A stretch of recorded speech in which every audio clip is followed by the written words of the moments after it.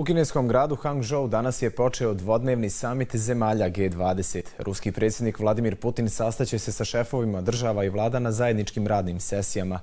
Putin će također imati više bilateralnih susreta sa liderima Kine, Francuske, Velike Britanije i Saudijske Arabije.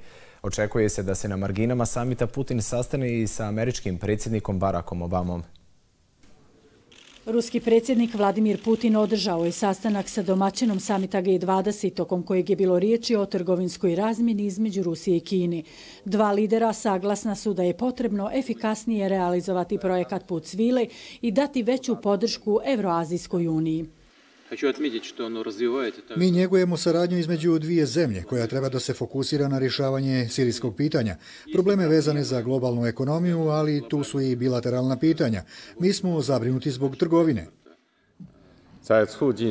Da bi se obezbijedio stabilan globalni ekonomski razvoj, moramo da imamo aktivnu ulogu u jačanju globalne ekonomije. Ruski predsjednik Vladimir Putin razgovarao je sa britanskom premijerkom Terezom May o situaciji u Siriji i borbi protiv terorizma.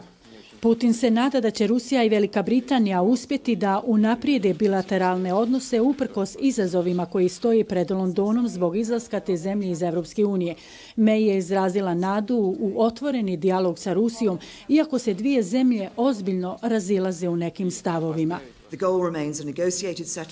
Moramo nastaviti da težimo ka stabilizaciji političke situacije u Siriji. Od velike važnosti da se obezbijedi dostava humanitarne pomoći ljudima kojima je potrebna. Zamolit ću predsjednika Putina da učini sve što je u njegovoj moći da se zaustavi bombardovanje civila.